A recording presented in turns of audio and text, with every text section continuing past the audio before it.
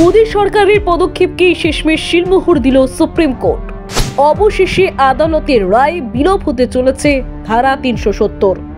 এই বিশেষ ধারাকে অস্থায়ী তকমা দিয়ে রাষ্ট্রপতির সিদ্ধান্তকে মেনে নিল সুপ্রিম কোর্ট। এর প্রভাবে কি বদল ঘটবে জম্মু ও কাশ্মীরে? দেখুন।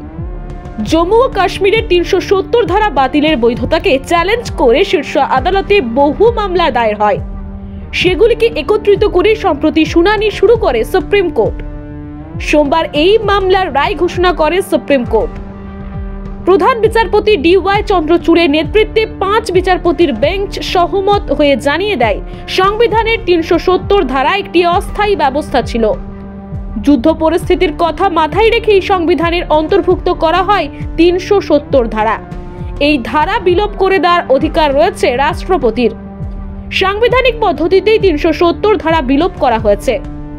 এখন এক নজরে দেখে নিন যে ঠিক কি রায়দান করল সুপ্রিম কোর্ট। প্রথমত জম্মু কাশ্মীরকে রাজ্যের মর্যাদা ফিরিয়ে দেওয়া হবে। কেন্দ্রশাসিত অঞ্চল থাকবে লাদাখ।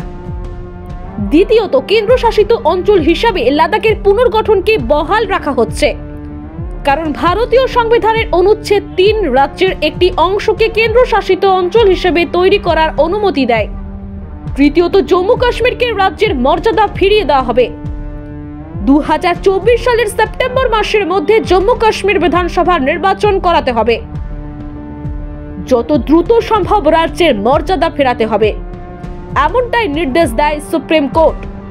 চতুর্থত জম্মু কাশ্মীরের গণপরিষদ কোনো স্থায়ী ব্যবস্থা ছিল না। রাষ্ট্রপতির সিদ্ধান্ত নেওয়ার ক্ষেত্রে গণপরিষদের অনুমোদন নেওয়া বাধ্যতামূলক নয়। সাংবিধানিকভাবে রাষ্ট্রপতির বিজ্ঞপ্তি জারির ক্ষমতা রয়েছে। রাজ্যের অনুমোদন না নিয়ে কেন্দ্রের কথা মতো রাষ্ট্রপতির পদক্ষেপ এক্ষেত্রে সাংবিধানিকভাবে অবৈধ নয়। কেন্দ্রীয় সরকারের রাজ্যের অনুমোদন নেওয়ার প্রয়োজন নেই। বিধানসভার মতামত মানতে বাধ্য নয় সংসদ।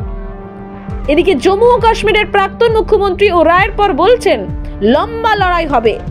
অন্যদিকে আইনজীবী কপিল সিব্বলের মন্তব্য কোনো কোনো লড়াই হারার জন্যও লড়তে হয়। তবে লোকসভা ভোটের আগে সুপ্রিম কোর্টের ওই রায়ে উচ্ছ্বসিত প্রধানমন্ত্রী নরেন্দ্র মোদী।